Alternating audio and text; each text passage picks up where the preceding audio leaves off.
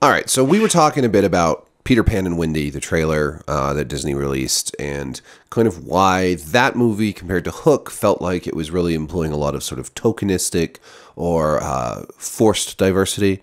I like to think of this as like corporate diversity, which is, you know, a very shallow, surface level diversity and inclusion that doesn't really actually bring any sort of diverse storytelling or or or even sensible logical diversity to a, pro- a property it just it just it just is trying to pander to kind of the, the current cultural moment and all the activism surrounding like what we think is acceptable in, in entertainment these days um, so I, I'll leave that aside. I just wanted to kind of like broaden this discussion a little and also focus it in on on like why this matters and and why context matters so much.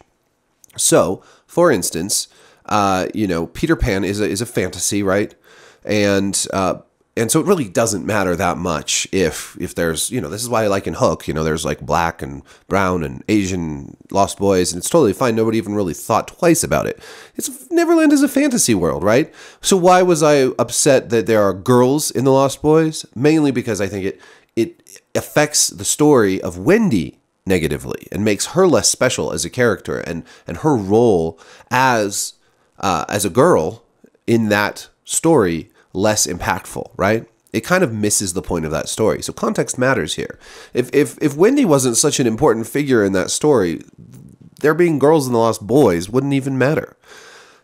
So we have seen things like uh, I think in recent you know recently we, we have a couple other fantasies right rings of power brought a lot of diversity to Middle Earth, and a lot of people are upset by that. I tried to sort of say, look, it doesn't matter if they do this right; it'll be fine. Um, I think you're jumping the gun. I think you know this comes off as kind of racist if you're freaking out this much about uh, you know black hobbits and stuff. But um, but they did it very poorly.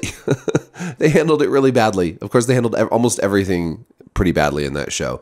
And I think, you know, looking at the context of Middle Earth versus something like Narnia uh, is important here. Narnia, I think, because of how C.S. Lewis crafted his stories, uh, his Narnia story specifically, almost as a I, I don't I don't like this term, but as a metaverse, Narnia is almost a metaverse, right? There's just there's characters and creatures and and and myths from all over the place, right? From all kinds of cultures. You can have I think you could make the most diverse Narnia you want, and it would make total sense in the context of what Lewis was trying to do. And I think he would have been absolutely fine with it because, again, his is a grab bag fantasy world. Whereas Tolkien's is a very specific, rooted world in history and geography, in, in myth, right? Uh, he spent a lot of time building a very elaborate backstory uh, for this world, his world building and his, his linguistic. Uh, approach to this was was extremely deep and and very very specific, right? Uh, and so you can have diversity in Lord of the Rings, in, in stories that you in you know fan fiction, whatever you want to do. But there there's a way to do it that would make a lot more sense uh, by providing geographical and historical context to that diversity. And you could you could just make it up. I mean, you could have the elves from you know over here all be darker skinned, right? And you could have you know you can do you could do that and you could make it make sense and you could have it fit that sort of approach that Tolkien took to realism because there is realism in his fantasy compared to other fantasies uh, like Narnia which which abandons realism in a lot of ways. And I was thinking about how uh, two shows that I really enjoy that are historical how they take such different approaches and why it matters for each of them. Like so the two shows I'm talking about are Outlander on Starz and The Great on Hulu I recommend both of these. The Great is very funny, whereas Outlander is very dark.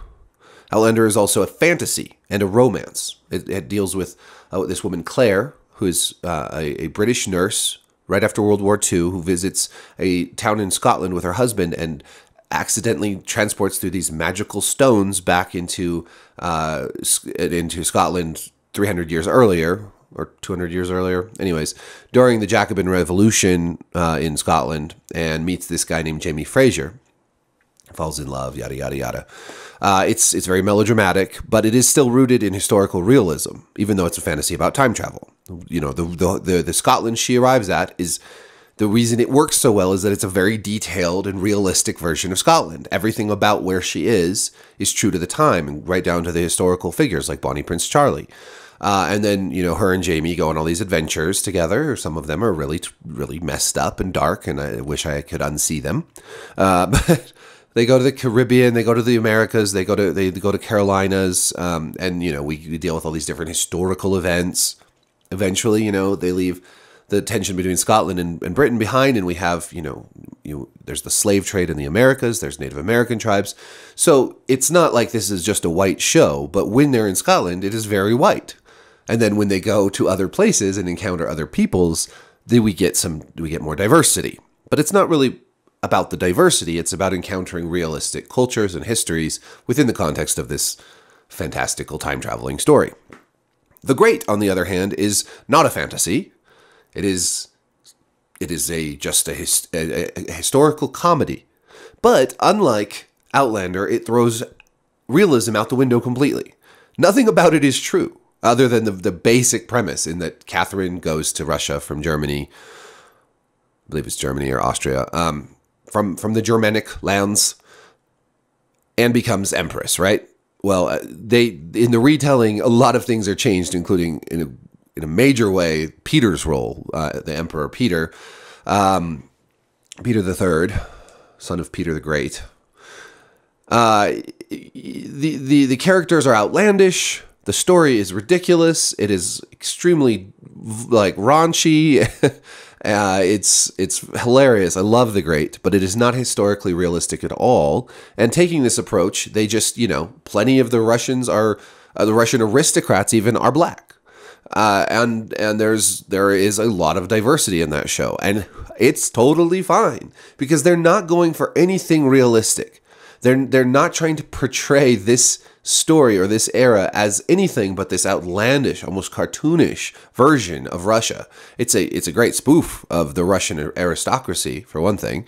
Um, it, it kind of reminds me a little bit of like uh, the the Bertie and Jeeves uh, Wodehouse stories, just lampooning the the the rich and idiotic. Um, so so these are two shows that are both histories. One is a fantasy and yet grounded in realism, and so casting adds to that realism. If she'd gone back in time and, and just had like this, you know, rainbow coalition of Scotsmen in the 1700s, it wouldn't have made much sense and it would have thrown us off. And then when she later encountered like the slave trade or the Native American tribes, that would have been odd.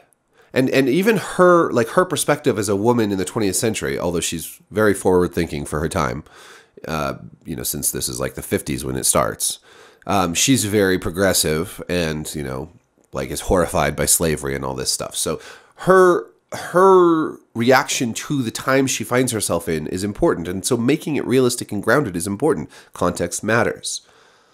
The Great, on the other hand, just doesn't matter. It's just it's just total made up fiction. It doesn't. It's colorblind. Race has nothing to do with it. Uh, beards are more important than the than skin color in that in that show. It's hilarious.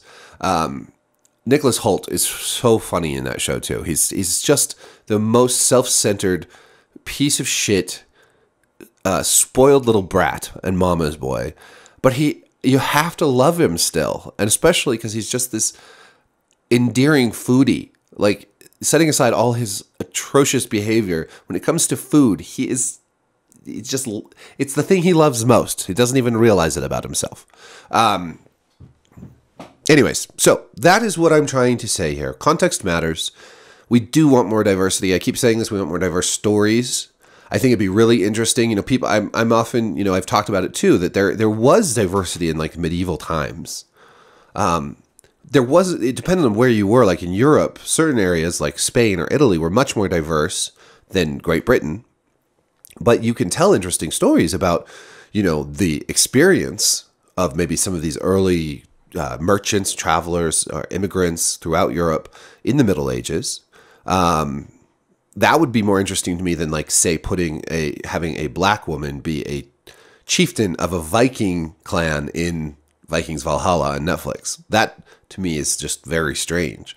But you know, there are plenty of ways you could have a Viking show like be very multicultural. The Vikings traveled everywhere and they brought people back from everywhere too. So there's ways to do this that could be very fascinating and very, you know, very compelling stories uh, without just race swapping. I think that's for me like it's one thing just to have a diverse cast in a show like The Great. But if you just race swap and show something like Outlander, then you start to you start to whittle away at the actual important story beats. Especially when when people do encounter different races and cultures in that context. So, uh, and I've mentioned this too. I'm, I'm hoping someday we get a really good adaptation of Joe Abercrombie's books, uh, The Blade itself, and, and all of his his amazing fantasy novels. But that's another one where I hope the casting is realistic because because that that does play such a role in the books.